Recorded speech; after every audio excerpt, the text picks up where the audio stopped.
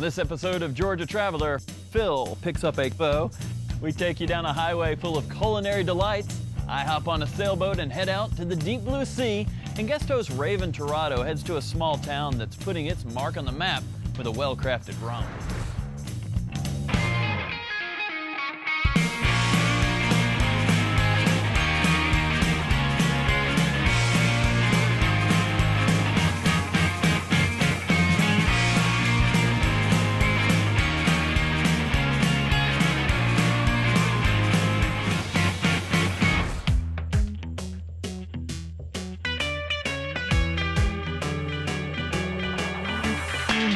Foxhall Sporting Club is 1,100 acres of beautiful countryside where any sports enthusiast can learn and play. And believe it or not, this incredible property, full of rich landscapes and scenic overlooks, is only 25 minutes from the Atlanta airport. Well, Foxhall, before uh, our company purchased the property in 2007, it was an equestrian venue uh, it was built in 1993 uh, by Jim Richards, the son of Roy Richards, founder of Southwire. Built it for the 96 Olympics for the Olympic equestrian team to train here. The stables, all the beautiful fields down below, the 400 acres of polo fields, pastures that just make it so different from anything you see around Atlanta. Known as the first urban sporting club in America, Foxhall provides members and guests access to a host of sporting activities. The options are limitless. We have every activity someone wants to do, and if we you have one we don't have, we'll come up with it. What we're best known for right now is our uh, shooting grounds. We have a 15-station Beretta Trident Sporting Clays course. The shooting grounds is open to the public. We have uh, ATV rides that uh, that people can come out and enjoy. And then all the other activities from the, uh, the fishing, the golf driving range, the swimming, tennis, uh, is all available to the group groups to come out and have events out here, as well as our membership program. Individuals can come out and get a social membership that gives them access uh, to all the facilities, activities, and amenities. Archery is one of the programs we put in place not knowing how uh, how people would react, how many people would want to be interested. Most people have tried it at camp, but other than that, uh, haven't had much exposure to it, and it's become one of the most popular activities out here for our members and guests. Archery? Now that's what I'm talking about. I met up with the head outfitter, Ryan Snyder, and we headed out for the range. Uh, Ryan, this brings back memories, man. Mm -hmm. One of my first merit badges as a Boy Scout was in archery. I loved it, man. I'm about ready. Oh, well, right before you start, let's go ahead and go over some few safety rules before you get started. Yes, yes. Why don't we go over those safety rules, okay? All right. If you don't mind, I'm to borrow your bow from you. you. All right, so the first thing um, is always you don't want to dry fire a bow. Dry firing a bow means pulling it back and letting it go without an arrow in All it. Right. Um, if you do that, you could uh, crack the limbs and it has potential to break. So always, anytime you pull the bow back, if you're going to let it go, make sure there's an arrow in it. The next thing is when you do knock an arrow into this rest here, uh, you want to treat it like a loaded gun. So you'll knock your arrow on that string and slide it down into your rest.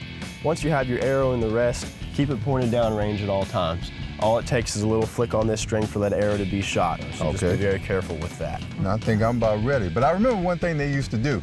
Yep. We used to yell, is the range clear? Fantastic. I missed the whole doggone thing, didn't I? Must be the contacts, dog. It's got to be. It could be. Yeah. Dude, something wrong with your arrows, man. man, this is like not as easy as I remember. there it is, baby. That was the bullseye. That was the money shot right there. Once I got my groove, there was nothing stopping me. Now, I couldn't leave Ryan out, so I challenged him to a little competition. But I know you probably got some skills of your own, right? a little bit here and there. okay. So why don't you grab a bow and let's do something right here? Unless you got better skills. Well, if you want to make a competition, we better go a little bit further then. That's what I was waiting on, the competition. Let's move over to maybe that one over there. That sounds great. Let's do it. Ho, ho, ho. How you got a release? I don't have one.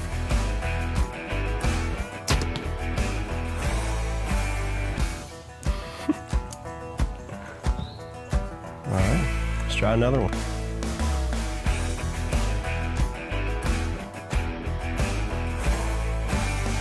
We really wanted to create something that people could come out and have access to that they typically wouldn't anywhere close to a major city.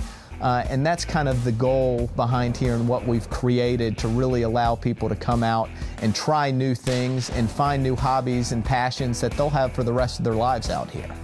Man, Ryan, I'm having a ball, man. Foxhall Sporting Club, so much to see and so much to do. And you ain't seen nothing yet?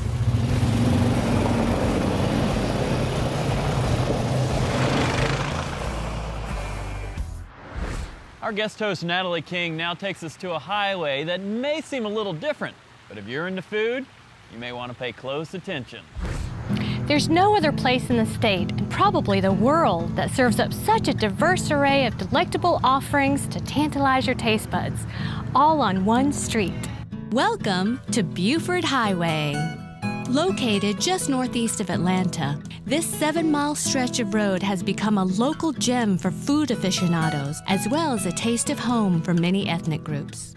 Our first stop on our Buford Highway tour is Canton House. Hey Cam, one of my favorite people on Buford Highway. Owner Cam Vong came to America after experiencing many hardships in Vietnam. United States, it is a very, very, very good country. Opened in 1999, Canton House is known for Chinese dim sum, Classic dim sum items include steamed pork buns, shrimp dumplings, and for the adventurous, chicken feet. But don't just fill up on dim sum, there's plenty more to eat on Buford Highway. Our next stop is Gu's Bistro. Gu's Bistro features one of my absolute favorites, spicy Sichuan noodles. Minced pork and scallions. Chinese believe not to cut their noodles so that you keep it in long life. Look how long those noodles are. Yay! Not in the mood for Chinese noodles? How about a noodle soup in the form of Vietnamese pho? Written as pho, but pronounced as pho, Nam Pham serves it up by the bowlful. Fresh basil. A splash of bean sprouts. Jalapeno. I'm gonna skip that one this time.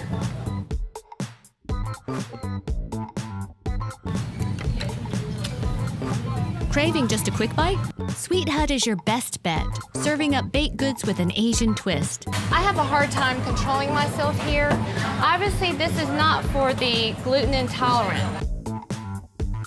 And of course, you can wash it all down with a delicious bubble tea. Mmm, So refreshing. Buford Highway is an apex for authentic Asian cuisine, but it's also home to many authentic Hispanic eateries. One great example is Carnitas Michoacán.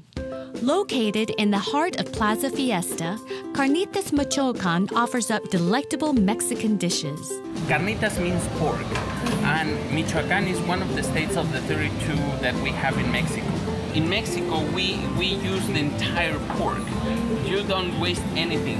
I'd like to try something that's kind of a specialty. Is that one that's popular with the locals? Yes, the tortas ahogadas is the torta. First, we put the bread, we grill it. And once we grill it, um, we put the carnitas, we put a little bit of lettuce, and we close the, the torta, which is kind of like a sandwich. Now, am I supposed to eat this with my fingers or with a Uh, fork? actually, with a fork, if you want to add a little bit of spiciness, then you can add this one. I see it eating through the cup already. You're looking at me like I might melt after I eat it. Probably. If you're not too full from tortas, hop on over to Machu Picchu Restaurant, a great place for Peruvian ceviche. Favorite ceviche. Beautiful. Thank you, Zoila. Wonderful. Sweet potato, yuca, and some fresh ceviche for you. Wrap up this tasty tour, let's stop by Rincon Latino Restaurant, where they're serving up savory Salvadorian pupusas. This is one of my favorites. I like putting it with the slaw. This is some pickled cabbage. And then you top it off some salsa.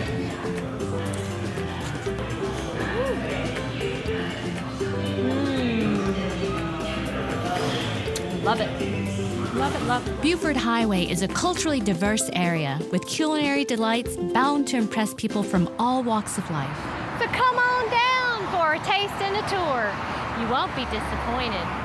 And if you're like a Chinese Southern belle, you might just feel right at home. From the highway to the coast, where I found a sailboat with a captain who's going to teach me how to navigate the open seas. Harness the wind and glide the open seas. It's a perfect mix of pleasure and sophistication.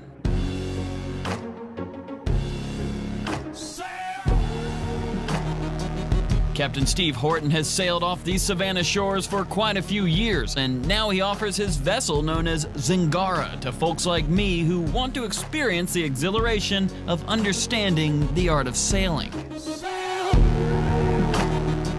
a 38 footer, 18,000 pounds, points and sails very well. I'm going to let you take the helm here in just a minute. Already? And if you'll keep her between the hard places, kind Okay. of in the middle, I'm going to get rid of some lines and fenders and uh, get her ready to, to sail.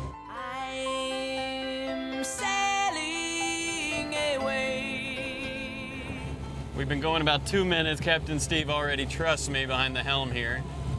It's like he's doing all the work.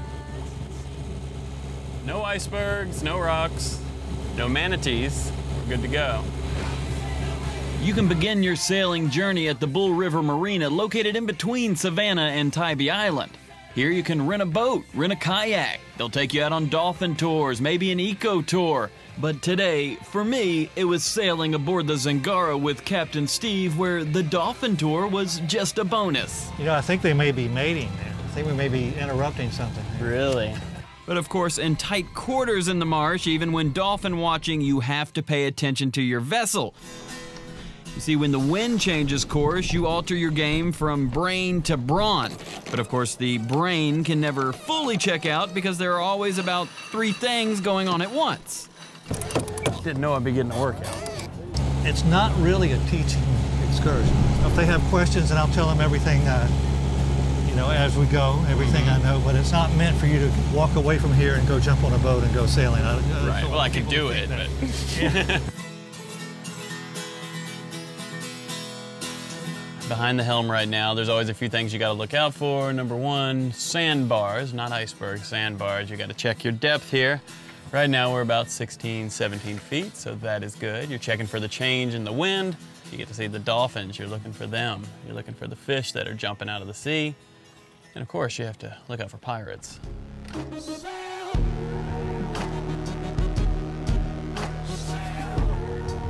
However, once you hit the open water and have plenty of depth, you do find moments to relax.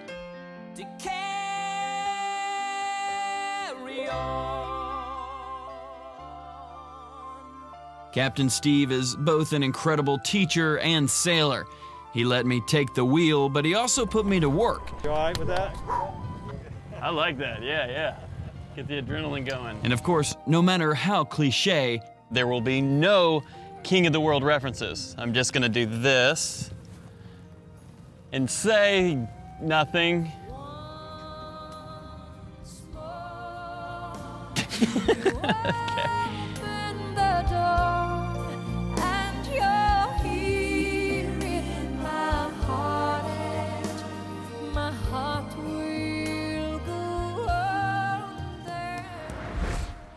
There's a small town in Georgia known as Richland where something very special is going on.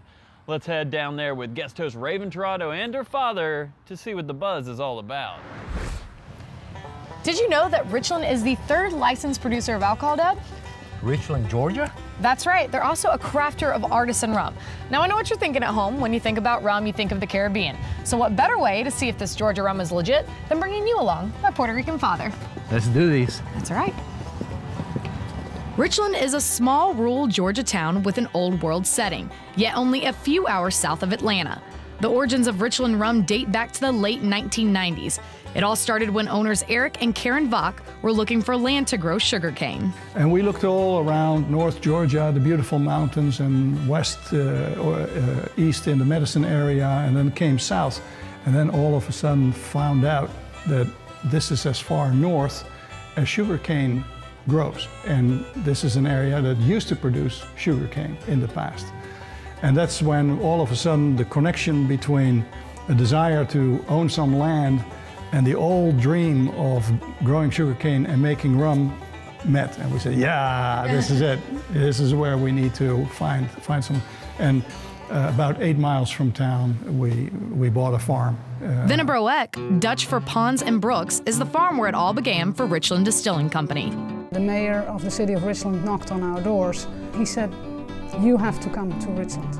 Although we live in Stewart County, we never go there because there's, there's nothing there. He said, exactly, there's nothing in Richland and I want you in downtown Richland.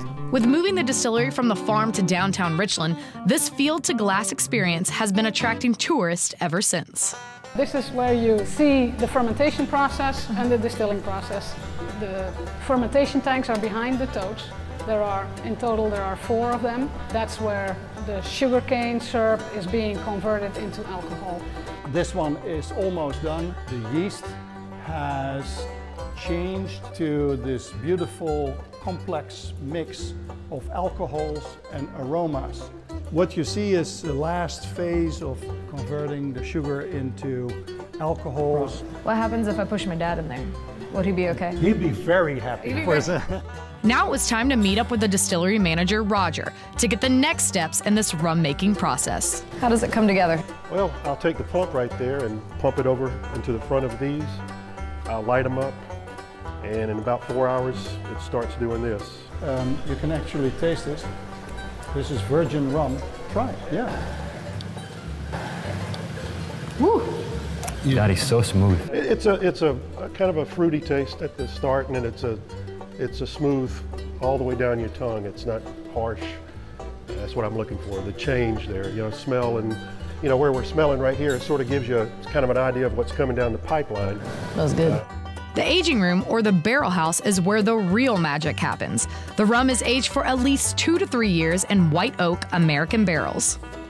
From the aging room to the tasting room, my father and I get to try the final results of this award winning rum. The first thing you should do is smell. Oh. I mean, the, the aromas that's, are beginning that's to. amazing. I mean, it smells amazing. Is that better than island rum? Oh my god! I mean, it just smells. It just smells. You can you can tell smooth because smells smooth. No, they're they're very prevalent. Vanilla, caramelly, butterscotch. You guys should make candles, rum candles. that should be the next process. You can't drink the candles, baby. That doesn't. All right, so while y'all talk, I'm just, yeah, yeah. Can like, we do these? Yeah. Salud. Salud. Salud. Mm. You gonna choose this? There we go. It just goes down differently than anything else. That can get get me in trouble right there. Well, honestly, just chug the whole thing. But that's that's that's what you get with an, an, an all natural, carefully crafted the process product. Where does this rank on your list? Uh, it's got to be uh, top two, top three. Yeah. Whoa! Wow, fantastic, fantastic.